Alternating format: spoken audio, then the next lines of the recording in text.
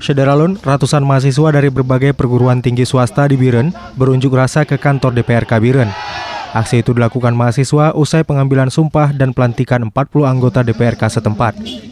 Memulai aksi dengan long march dari Masjid Agung Sultan Jempa Biren, mahasiswa kemudian menggelar teatrikal di depan gerbang DPRK Biren.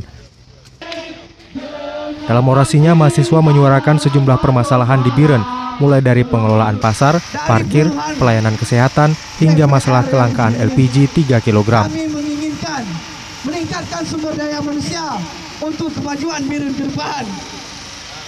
Dari Biren, Ferizal Hasan, Serambi On TV.